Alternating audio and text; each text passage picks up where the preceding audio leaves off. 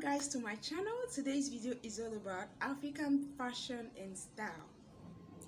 Welcome to my channel everyone. Today is fashion for men. As we all know guys the world is revolving around our native nigeria fashion.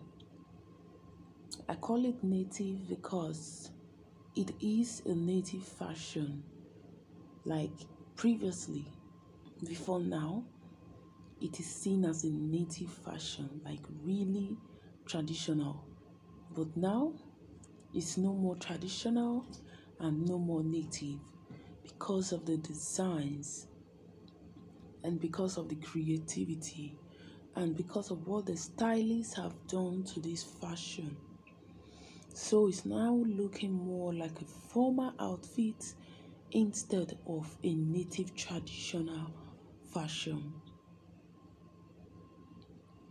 And the common fabrics that can be used to achieve these ties are the cashmeres, the senators, the adiris, the Atikus, the brocade and velvet. For the velvet, you can't use all from the shirt to the trouser.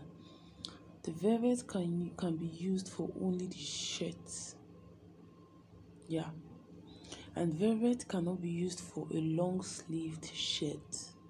It is used for a short sleeve shirt and the style is always um dancing style. You can't use a velvet for um a long sleeve and a long shirt but instead it's for a dancing style and a very free shirt. And also we have um, other Atiku fabrics cashmere fabrics and senator designs all here in this video. So if you know this video interests you do not go nowhere.